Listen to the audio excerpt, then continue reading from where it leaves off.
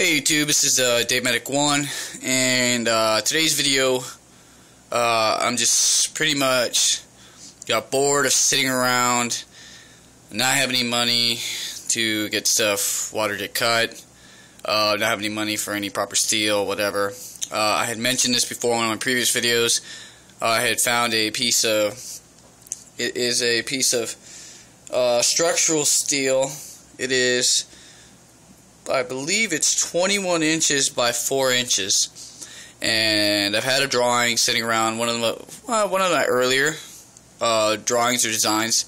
Um, I've always wanted to, uh, one of the first things that I wanted to make, wanted, it was going to be like a, like a woodsman chopper type of deal.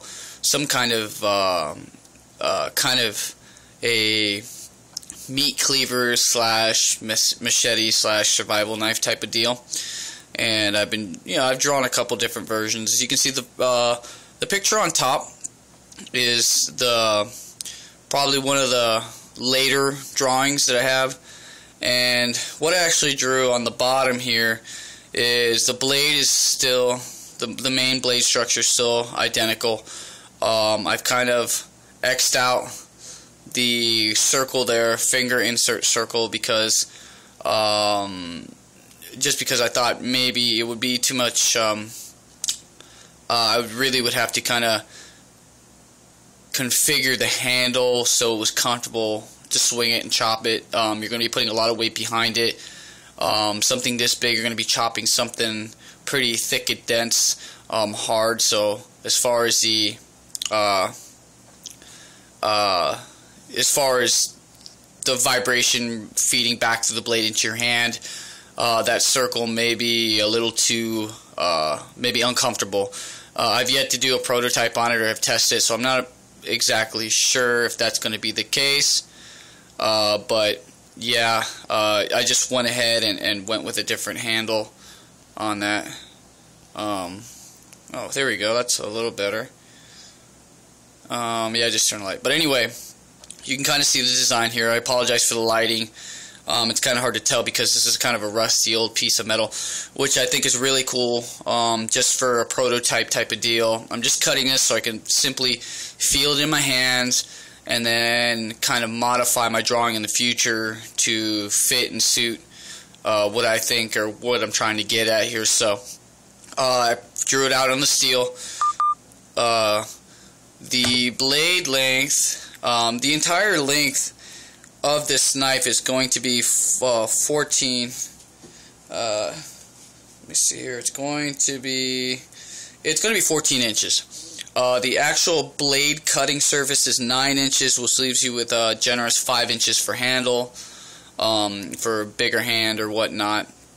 Um, I went ahead and, uh, even though this looks cooler on paper, I think a straight handle uh, may not. Uh, I don't know. It may not be too comfortable. It, it may, you know, I'm not sure. Um, you know, after swinging it for a while, it may not be too comfortable. So I went with a more contoured uh, handle, uh, like I have on a couple of my newer drawings, with uh, cutouts uh, to accommodate your finger or whatnot. Uh, this steel is a quarter inch uh, thick, um, so it's going to be pretty. it's going to be on the heavier side for sure. Uh, but yeah, that's pretty much. I drew it out. I'm gonna probably begin cutting it. Um, what do we got? Today's Wednesday. Um, I'll probably start cutting it on the weekend. I'll just let it sit around. I'll look at it for a while. I may change it a little bit.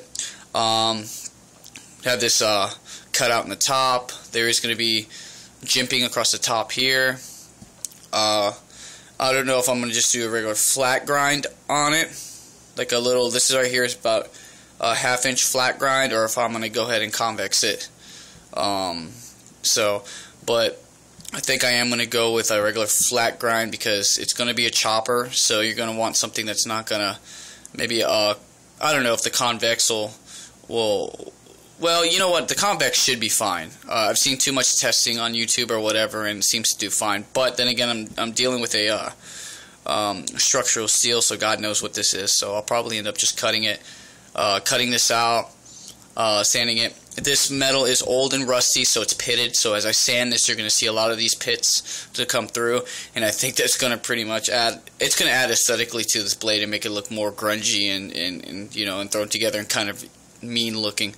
Uh, but yeah, that's pretty much what I did. I kind of it took me a total of uh, uh, let's say 20 minutes, not even 15 minutes to do transfer this to the steel um, and to modify this handle uh, as opposed to that. So not too bad. So I just figured to give you guys an update on what it was up to.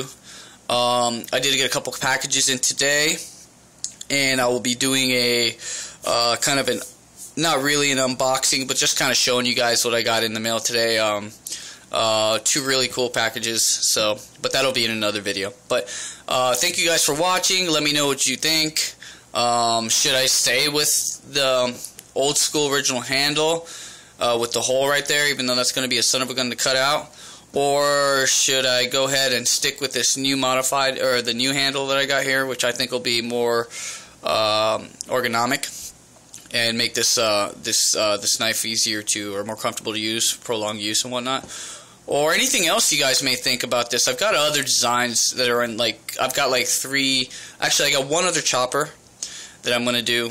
That's definitely going to get when I get the money for water jet. It's definitely going to be cut out. Um, and uh, and this was just the one that I kind of.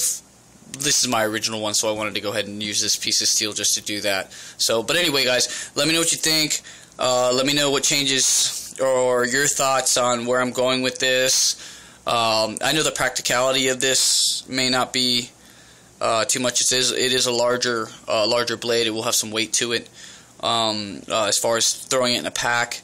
Um, it's a pretty big. Um, it's a it's a pretty big knife to throw in a, in a hiking pack to chop or uh, whatever. You'd have to sacrifice a lot of other things as far as weight goes. But anyway, but just like I said, let me know what you think. Uh, post your comments below, and um, thanks again for watching. Uh, you guys have a good day. Peace.